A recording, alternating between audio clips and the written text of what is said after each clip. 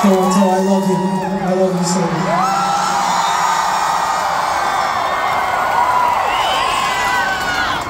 And we're gonna do this until I die. We're gonna do this until I die. I love you. The whole time.